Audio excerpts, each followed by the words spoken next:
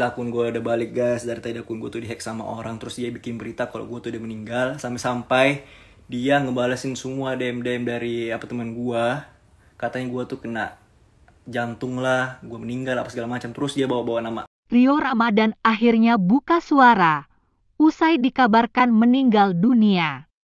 Dia memastikan kalau berita itu hoaks.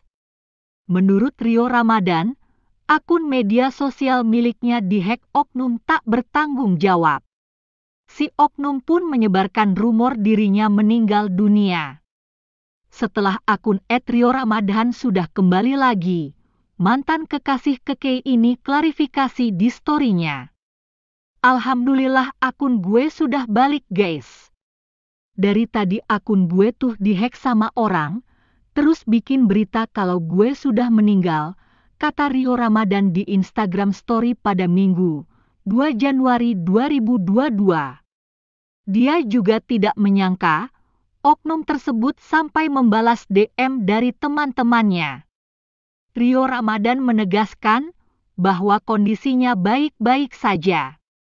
Dia pun senang akunnya kembali, hingga bisa meluruskan rumor yang beredar.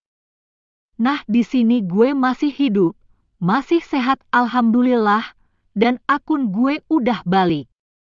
Jangan percaya gue meninggal, gue masih hidup kok, ujarnya. Adik gue juga Nah di sini gue masih hidup juga Masih sehat Alhamdulillah Dan sekarang akun gue udah balik Jangan percaya semua tuh kalau gue udah meninggal Gue masih hidup kok Oke okay?